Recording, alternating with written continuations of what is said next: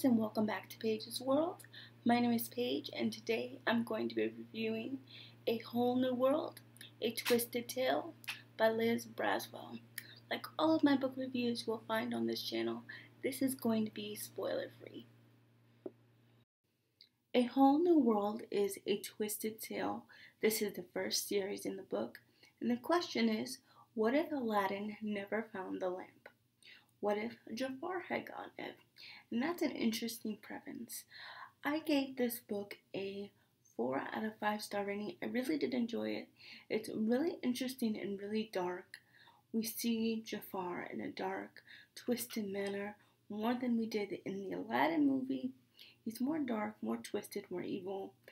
And you see what he would do if he had gotten the lamp instead of Aladdin.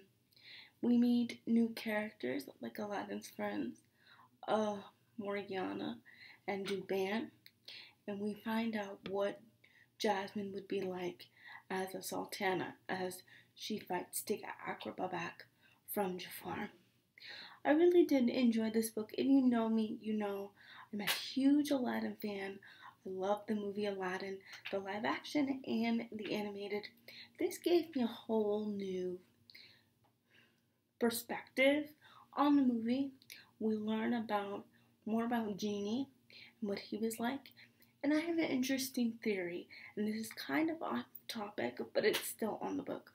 What if the Cave of Wonders, if you've ever seen the movie, what if the Cave of Wonders was created by the jinn?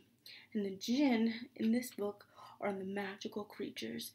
And that's how Genie got his powers. He talked to a jinn because there was something happening to his wife, and he wanted to become this all ma- powerful, magical genie to protect his wife.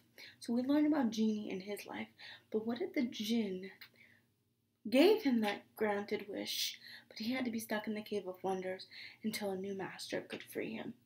Interesting theory. So, like I said, I give this book a 4.5 star rating. I really did enjoy it. It was dark, it was twisted. You see a little bit of the movie, but it's more in the twisted tale. And Jafar is just evil and twisted, and he has all these minions and demons. It's really, really good. I highly recommend it. That is all I have for my review today. Give it a thumbs up if you enjoyed it. Leave a friendly comment down below. If you would like to follow me on Instagram and Twitter, those will be down below in the description. Have a magical day, everybody. Bye.